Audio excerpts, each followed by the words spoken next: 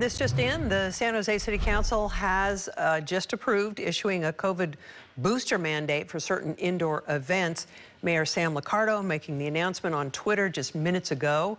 Uh, the vote was unanimous, so anyone attending events at city-owned facilities such as SAP Center, Convention Center, or the Center for Performing Arts must uh, already prove that they're fully vaccinated.